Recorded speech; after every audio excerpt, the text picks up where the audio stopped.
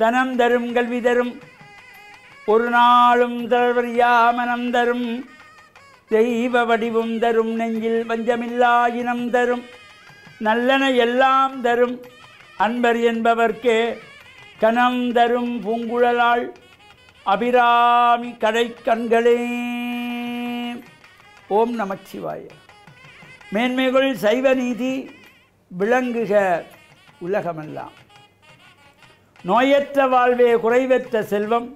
அந்த நோய் நொடி இல்லாத வாழ்வுகின்ற உலக மக்கள் எல்லோரும் வாழ வேண்டும் என்று கலியுகத்தின் காந்தமலை ஜோதியாகிய சபரிமலை சுவாமி ஐயப்பனுடைய திருவடிகளை சிறந்தாழ்த்தி டேன் தமிழொலி ஓம் தொலைக்காட்சி நேயர்கள் அனைவருக்கும் சர்வதேச இந்து மத குறிப்பீடம் அகில இலங்கை சபரிமலை ஸ்ரீ சாஸ்தாபுரத்தின் சார்பில் இனிய வணக்கங்களும் நல்லாசிகளும் இன்றும் மங்களகரமான சோபகிருது வருஷம் பங்குனி மாதம் பதினேழாம் நாள். முப்பது மூன்று இரண்டாயிரத்தி இருபத்தி நான்கு சனிக்கிழமை. இன்று மலர்ந்திருக்கின்ற இன்றைய பொழுதும் நம் எல்லோருடைய வாழ்விலும் எல்லா விதமான சிறப்புகளும் வெற்றிகளும் கிடைக்க வேண்டும். இறையருளும் குருவருளும் பூர்ணமாக நிறைய வேண்டும் என்று பிரார்த்தித்து இன்று மந்த வாரம் என்று போற்றுகின்ற சனிக்கிழமை. பொதுவாக இந்த சனிக்கிழமைகளிலே சுபகாரியங்கள் எதுவும் செய்யக்கூடாது. சுபகாரியங்கள் எதனையும் ஆரம்பிக்கக்கூடாது. சனிக்கிழமையிலே திருமணங்களோ கிரகப்பிரவேசம் என்கின்ற புதுமனை புகுவிழாக்களோ ஆலய கும்பாபிஷேகங்களோ தொடங்கவும் கூடாது நடத்தவும் கூடாது. இது சனீஸ்வர பகவானுடைய வழிபாட்டுக்குரியதும் நாம் தலைக்கு எண்ணெய் வைத்து ஸ்நானம் செய்வதற்கு உரிய நாள் இந்த மந்தவாரம் என்கின்ற சனிக்கிழமை. இதைத்தான் தமிழ் மூதாட்டி ஔவை அழகாக சொன்னாள். சனி நீராடு. உடம்பெல்லாம் எண்ணெய் பூசி தலைக்கு எண்ணெய் வைத்து உடம்பை குளிர வைப்பதற்காக சனிக்கிழமையில் ஸ்நானம் எண்ணெய் ஸ்நானம் செய்வதற்குரிய நாள். சனீஸ்வர பகவானை வேண்டி நாம் வழிபாடுகள் செய்வது எள்ளெண்ணெய் தீபம் ஏற்றுவது சுவாமி ஐயப்பனை வழிபாடு செய்வதற்குரிய நாள் இந்த மந்தவாரம் என்கின்ற சனிக்கிழமை. நாம் இந்த ஆலயம் தொழுவது சாலமும் நன்று. என்பதனை சிந்தித்து வருகிறோம். இந்த ஆலய வழிபாடுகள் நாம் செய்கின்ற பொழுது எப்பொழுதுமே இந்த ஆலயங்களுக்கு நாம் செல்லுகின்ற பொழுது நல்ல மனதோடு செல்ல வேண்டும். மனம் தூய்மையோடு செல்ல வேண்டும். ஐம்புலன்களையும் ஒருவழிப்படுத்தி நாம் முறை பிரார்த்தனை ஈடுபட வேண்டும். இப்போ முன்னைய காலத்திலே அர்ச்சனை கூடை வைத்துக்கொள்வார்கள். அந்த அர்ச்சனை கூடையிலே தேங்காய் வெற்றிலை பழம் பாக்கு கற்பூரம் ஊதுவத்தி பூக்கள் இவையெல்லாம் எடுத்து மஞ்சள் நீரிலே அலம்பி அதை புனிதமாக இந்த கூடையை கையில் ஏந்திய வண்ணம் ஆலயங்களிலே சென்று அர்ச்சனை வழிபாடுகள் செய்த காலம் முன்னைய காலம். இப்போ அது பலருக்கும் தெரியாது. கோவிலில் போனோமா ஏதோ பணத்தை கொடுத்தோமா ரிசீத்தை வாங்கினோமா கொடுத்தோமா அர்ச்சனை பண்ணோமா வந்தோமா என்கிற அளவில் இருக்கிறது ஆலயங்களுக்கு செல்லுகின்ற இவை ஏன் முன்னோர்கள் வகுத்தார்கள் என்றால் இவர் அந்த எண்ணம் மனதிலே இருக்க வேண்டும். நாளைக்கு வெள்ளிக்கிழமை அல்லது நாளைக்கு கோவிலில் திருவிழா நாளைக்கு கும்பாபிஷேகம் கோவிலுக்கு போக வேண்டும். அந்த மனசை ஒருநிலைப்படுத்தி நல்ல தேங்காய் வாங்க வேண்டும். மஞ்சள் நீரிலே கழுவ வேண்டும் வெற்றிலை பழம் வாங்க வேண்டும் கற்பூரம் வாங்க வேண்டும் மலர்கள் பறித்து வைக்க வேண்டும் என்ற அந்த சிந்தனை இறை சிந்தனை இருந்து கொண்டே இருக்க வேண்டுமாம் இந்த இறை சிந்தனை இருந்து கொண்டே இருந்தால் இறைவனுடைய அருள் கிடைக்குமாம் இதைத்தான் மணிவாசக பெருமான் சொன்னார். அவன் அருளாலே அவன் தாழ் வணங்கி அவனுடைய திருவடியை வணங்குவதற்கு அவனுடைய அருள் கிடைத்ததாம். அவன் அருளாலே அவன் தாழ் வணங்கி. அவனுடைய அருள் தனக்கு கிடைத்ததினாலே இறைவனுடைய திருவடியை வணங்கினேன் என்று மணிவா சொல்கிறார் அந்த அருளை எப்படி பெறுவது? அருளை பெற்றால்தானே வணங்க முடியும் என்றால் மணிவாசகர் கிடைத்தது அவன் அருளாலே அவன்தால் வணங்கி என்று பாடிவிட்டார். அவன் அருளை எப்படி பெறுவது? அதற்கு முதல் வரியிலே சொல்கிறார் சிவன் அவன் என் சிந்தையுள் நின்ற அதனால் சிந்தையிலே இறைவன் சிவன் அவன் என் சிந்தையில் நின்று அதனால் நாளைக்கு கோயில் கும்பாபிஷேகத்துக்கு போக வேண்டும். காலையிலே நிறுத்து கிளம்ப வேண்டும். தேங்காய் பழம் வித்திரை எடுத்து கழுவி துப்புரவு செய்ய வேண்டும் என்கின்ற எண்ணம் வருகின்ற பொழுது இறையல் கூடி வருமா? என்ற நல்ல சிந்தனையோடு தொடர்ந்து நாம் இந்த ஆலயம் தொழுவது சாலமன் நன்று என்பதனை சிந்திப்போம் என்று கூறி டான் தமிழொலி ஓம் தொலைக்காட்சி நேயர்கள் அனைவருக்கும் சர்வதேச இந்து மத குருபீடம் அகில இலங்கை சபரிமலை ஸ்ரீ சாஸ்தாகுலத்தின் சார்பில் நல்ல ஆசிகளை கூறிக்கொள்வதில் மனமகிழ்வு கொள்கிறோம்.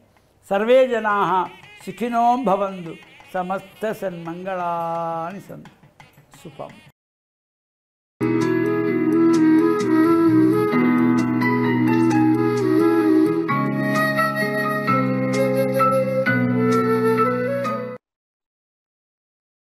இறை இயேசுவில் என் அன்பு நெஞ்சங்களே கிறிஸ்தவ நற்சிந்தனை வேளையில் உங்களை சந்திப்பதிலே எனக்கு மிக்க மகிழ்ச்சி.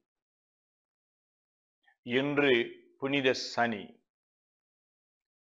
பாஸ்கு திருவிழா இந்த காலத்திலே ஆண்டவர் இயேசுவினுடைய பாடுகள் மரணம். அவர் அடக்கம் செய்யப்பட்ட பின்பு உயிர்த்தெழுதலுக்காக காத்திருக்கின்ற ஒரு நாள். ஆடி அடங்கும் வாழ்க்கையடா என்று சொல்லி இந்த வாழ்வு எப்பொழுதுமே விடியலை சந்தித்ததாக இல்லை. இந்த வாழ்வில் ஒரு அடக்கம் என்கின்ற அனுபவம் ஒரு விதத்திலே வாழ்வில் மனித அறிவுக்கும் ஆற்றலுக்கும் உட்பட்ட நிலையிலே ஒரு தோல்வியாக தோன்றலாம்.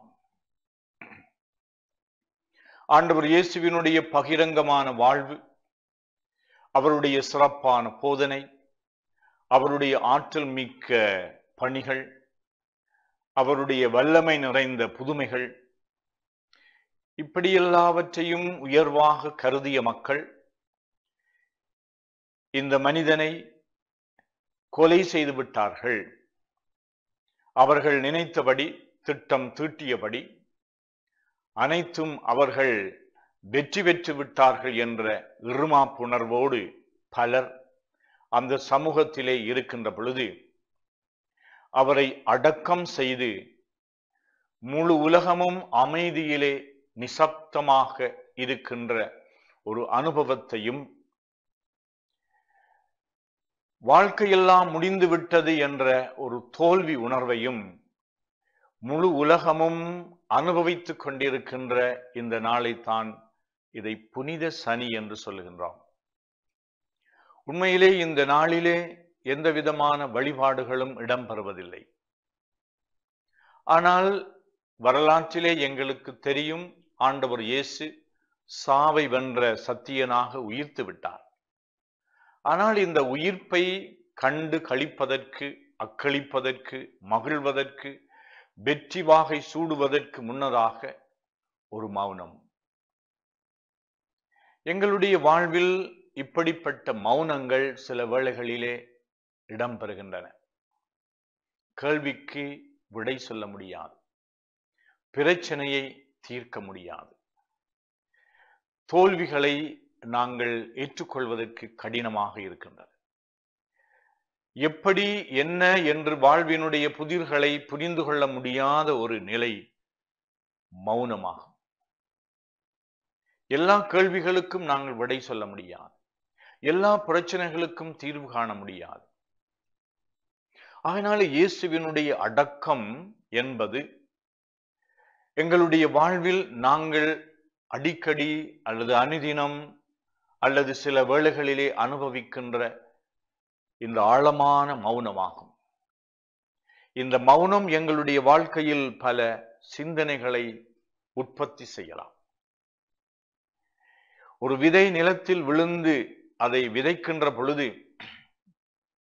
அது முளைப்பதற்கு சில நாட்கள் சில நிமிடங்கள் சில நேரங்கள் சில மனத்தியாலங்கள் எடுக்கும். அந்த விதை சும்மா இருப்பதில்லை. அது விதைக்கப்படுகின்ற மண்ணிலே இருக்கின்ற நீரையும் பசலையையும் அது உண்டு. அது மீண்டும் உயிர் பெறுகின்றது இவ்வாறு எங்களுடைய வாழ்வில் நம்பிக்கைகள் இழந்த வேளைகளில் எல்லாம் எங்களுடைய வாழ்வு முழுவதும் ஒரு அடங்கிய ஒடுங்கிய வாழ்வாக இருக்கின்ற பொழுதெல்லாம் எங்களுடைய வாழ்விலே முழுமையாக இறப்பை அனுபவிக்கின்ற அல்லது தோல்வியை காணுகின்ற அல்லது இருளில் இருக்கின்ற ஒரு வாழ்வாக இருக்கின்ற பொழுது நாம் மௌனத்தில் ஆண்டவரோடு ஒன்றித்திருப்போம். இறைவனுடைய வல்லமை எங்களிலே செயலாற்ற வேண்டும். இந்த இறைவன் இல்லாமல் எங்களால் தொடர்ந்து முன்னேற முடியாது. அவருடைய அருளும் வழிகாட்டுதலும் அவருடைய ஆசீர்களும் எங்களுக்கு தேவை என்ற அந்த மனதோடு இறைவன் எங்களுடைய உள்ளங்களை தம்முடைய ஆசியால் நிரப்ப வேண்டும் என்று இந்த புனித நாளிலே நாங்கள் இறைவனோடு மன்றாட்டிலே ஒன்றித்திருப்போமாக. ஆமை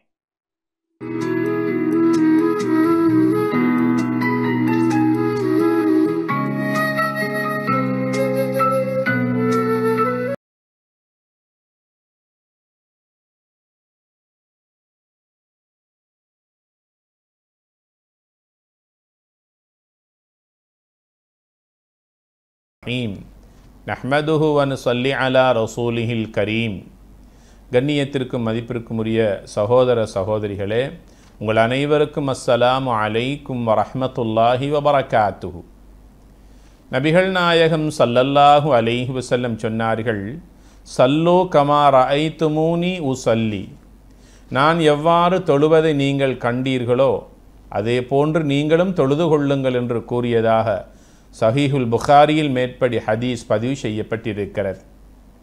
நாங்கள் தொழுகைக்காக உது செய்கின்ற போது எங்களுடைய தொழுகைக்காக நாங்கள் செய்கின்ற உதுவின் மூலமாக எங்களுடைய பாவங்கள் மன்னிக்கப்படுகின்றன.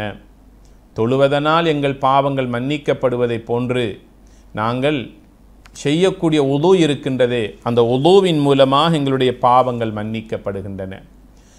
நபிகள் நாயகம் சல்லல்லாஹு அலைஹி வஸல்லம் கூறுகிறார்கள் இன்ன உம்மதி யுதவுன யோமல் கியாம குர்ரம் முஹஜ்ஜலீன் மின் ஆதாரில் உதோஇ.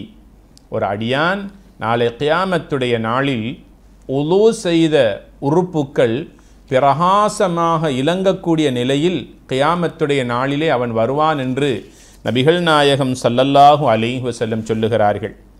ஒரு நாள் பொழுது ஜனாசா நல்லடக்கத்திற்காக நபிகள் நாயகம் சல்லல்லாஹு அலிஹி வசல்லம் அவர்கள் மக்கபராவின் பக்கம் செல்லுகிறார்கள். கபராளிகளுக்கு சலாம் சொன்னார்கள் அஸ்ஸலாம் அலைக்கும் அஹல தியாரி மினல் மினின் அவல் முஸ்லிமீன் என்று அவர்களுக்காக சலாம் சொல்லி கபராளிகளுக்காக பாவ மன்னிப்பு கேட்ட நபிகள் நாயகம் சல்லல்லாஹு அலைஹி வசல்லம் அவர்கள் அந்த கபரு கபரடியிலே நின்று கொண்டு தன்னை சூழ இருந்த சஹாபாக்களை பார்த்து சொல்லுகிறார்கள். என் அருமை தோழர்களே என்னுடைய சகோதரர்களை காண்பதற்கு நான் மிக விரும்புகிறேன் என்று சொன்னார்கள். அப்போது அருமை தோழர்களான சஹாபாக்கள் அவலஸ்னா இஹ்வானக்கு யார் ரசூல் அல்லா நபியே நாயகமே நாம் உங்களுடைய சகோதரர்கள் இல்லையா? என்று கேட்கிறார்கள். அப்போது நபிகள் நாயகம் சல்லல்லாஹு அலி ஹுசல்லம் சொன்னார்கள் அந்தும் அஸ்ஹாபி நீங்கள் என்னுடைய தோழர்களாக இருக்கிறீர்கள். என்னுடைய சகோதரர்கள் யார் தெரியுமா? அவர்கள் என்னை கண்டிருக்க மாட்டார்கள். உதுவை பரிபூரணமாக எடுத்திருப்பார்கள். அந்த உது செய்ததன் பயனாக குர்ரம் ஹஜ்ஜலீன் அவர்களுடைய உதவெடுத்த உறுப்புக்கள் எல்லாம் பிரகாசமுள்ளதாக இலங்கிக் கொண்டு மின்னிக்கொண்டு அழகாக இருக்கும் அந்த உதுவின் உறுப்புக்களை கொண்டு கியாமத்துடைய நாளில் என் சகோதரர்களை நான் இனம் கண்டு கொள்ளுவேன். எனவே அந்த சகோதரர்களை காண்பதற்கு நான் ஆசையோடு இருக்கிறேன் என்று சொன்னார்கள் நபிகள் நாயகம் சல்லல்லாஹு அலைஹி வசல்லம் அவர்கள். இன்னும் ஒன்றையும் எங்களை பார்த்து சொன்னார்கள். ஒலு செய்கின்ற போது உங்களுடைய உறுப்புக்களை இன்னும் கொஞ்சம் தாராளமாக நீங்கள் கழுவிக்கொள்ளுங்கள் என்று சொன்னார்கள். ஆக உது செய்கின்ற போது எங்களுடைய உறுப்புக்களை நாளை கியாமத்துடைய நாளில் பிரகாசமாக இலங்கக்கூடிய ஒன்றாக அல்லாஹ் ஆக்கி வைத்திருக்கின்றான். அதே போல நபிகளார் சல்லல்லாஹும் அலிஹு செல்லம் சொல்லுகிறார்கள் யார் ஒருவர் உதூ செய்கின்ற போது முகத்தை கழுவுகின்றாரோ முகத்திலிருந்து வடிகின்ற அந்த துளியின் மூலமாக தண்ணீர் துளியின் மூலமாக அவருடைய பாவங்கள் கண்களால் செய்த பாவங்கள் மன்னிக்கப்படுகின்றன. இரண்டு கைகளை கழுவுகின்ற போது இந்த கை விரலினூடாக கைகளால் செய்த பாவங்கள் அனைத்தும் அந்த தண்ணீர் துளியினால் மறைந்து விடுகின்றன. உஸ்மான் இபின் அஃபான் ரதியல்லாஹு தஆலா அவர்கள் ஒரு நாள் பொழுது பரிபூர்ணமாக உது செய்கிறார்கள். அருமை தோழர்களான சஹாபாக்கள் சொன்னார்கள் உங்களுடைய உதுவில் எவ்வளவு பக்குவம் இருக்கிறது. உங்களுடைய உது எவ்வளவு அழகாக இருக்கிறது என்று அவர்கள் எடுத்த உதுவை பார்த்து புகழ்ந்து பேசுகிறார்கள். இதனை கேட்ட உஸ்மான் ரபி அல்லாஹு தாலானு அவர்கள் சொன்னார்கள் இப்படித்தான் எம் உயிரிலும் மேலான கண்மணி நாயகம் சல்லல்லாஹு அலேஹி வசல்லம் அவர்கள் உது எடுப்பதை நான் கண்டிருக்கிறேன். அதே போல நானும் உதுவெடுத்திருக்கிறேன். நபிகளார் சல்லல்லாஹு அலி வசல்லம் சொன்னார்கள் உதுவெடுக்கின்ற போது யார் அவசரப்படாமல் பரிபூர்ணமாக உலு செய்து கொள்ளுகின்றாரோ "குஃபிர லஹு மா தக்கத்தம மின் தன்பிஹி. அவருடைய கடந்த கால பாவங்கள் அனைத்தும் உலு செய்கின்ற போது மன்னிக்கப்படுகின்றன என்று கூறியதாக சஹீஹ் முஸ்லிமில் இந்த ஹதீஸ் பதிவு செய்யப்பட்டிருக்கிறது. ஆக உது என்பது எங்களுடைய வாழ்க்கையில் பிரகாசத்தையும் எங்கள் உள்ளத்திற்கு நிம்மதியையும் எங்கள் அமல்களுக்கு கபூலியத்தையும் தரக்கூடிய ஒன்றாக இருப்பதோடு மட்டுமல்ல இப்படியாக உதவு செய்கின்ற மனிதர்களாகிய எங்களைத்தான் நாளை கியாமத்துடைய நாளில் நபிகள் நாயகம் சல்லல்லாஹு அலைஹி வசல்லம் அவர்கள் பார்ப்பதற்கு ஆசையோடு ஆர்வத்தோடு இருக்கிறார்கள். இந்த உதுவை சரியாக முறையாக செய்து கொள்ளுவோம். உதவு செய்வதன் மூலமாக எங்களுடைய பாவங்கள் அனைத்தும் மன்னிக்கப்படுகின்றன. உதுவோடு எக்காரியத்தில் நாம் ஈடுபட்டாலும் அவைகள் அனைத்தும் எங்களுக்கு நன்மைகளாகவும் நஃபிலான வணக்கங்கள் செய்த நன்மையை தருகின்ற ஒரு சிறப்பான ஒரு அமல் உதுவாகும். உதுவோடு இருக்கின்ற போது யாருடைய உடம்பிலிருந்து ரூஹ் பிரிகிறதோ அவர் ஒரு சீதேவியாக கண்ணியமான ஒரு மௌத்தாக அல்லாஹ்விடத்திலே சந்திக்கக்கூடிய ஒரு பாக்கியத்தை இந்த உது அவருக்கு கொடுத்து விடுகிறது. ஆக நாம் எக்காரியத்தில் ஈடுபட்டாலும் உதுவுடன் இருப்பதை வழக்கமாக்கி கொள்ளுவோம். அல்லாஹுடைய ரஹ்மத்துடைய மலக்குமார்கள் உதுவோடு இருக்கக்கூடியவர்களோடு நெருங்கி கொண்டே இருக்கிறார்கள். அதே போல் எங்களுடைய பாவங்கள் மன்னிக்கப்படுவதற்காக அல்லாஹு மகஃபிர் லஹு அல்லாஹு மரஹமுஹு என்று எங்களுக்காக துவா செய்து கொண்டே இருக்கிறார்கள். இந்த பாக்கியத்தை அல்லாஹ் இந்த பரிபூர்ணமாக நாம் செய்கின்ற உதுவிலே வைத்திருக்கின்றான். கேட்ட விடயங்களை வாழ்க்கையில் எடுத்து நடத்தி எல்லாம் வல்ல அல்லாஹ்வின் அருளையும் மன்னிப்பையும் பெறுவோமாக. வசலாம் அலைக்கும் வரமத்துல்லா